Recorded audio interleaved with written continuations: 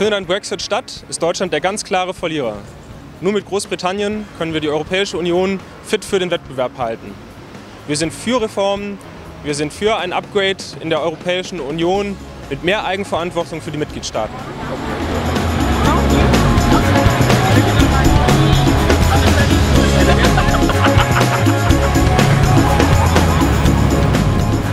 Wir sollten uns noch mal grundsätzlich überlegen, welche Kompetenzen am besten auf EU-Ebene angebracht sind und welche Kompetenzen besser auf nationaler Ebene verbleiben. Aber unabhängig davon, wie diese Diskussion ausgeht, muss die EU eine stärkere demokratische Brücke zu den Bürgern bauen.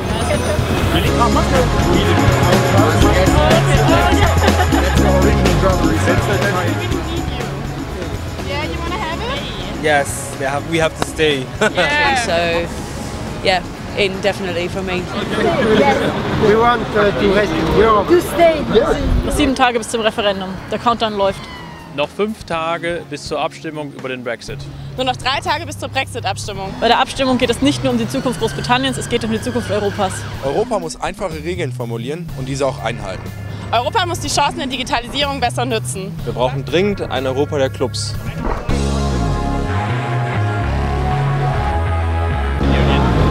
We are here to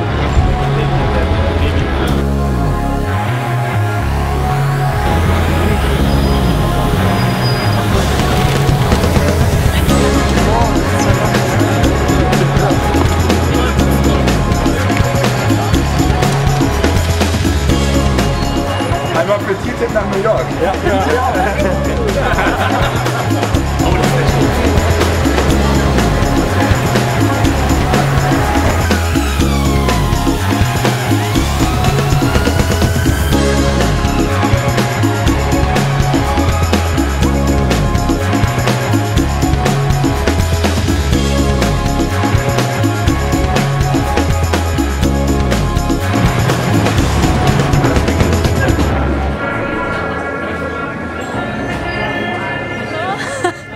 Sausage Time.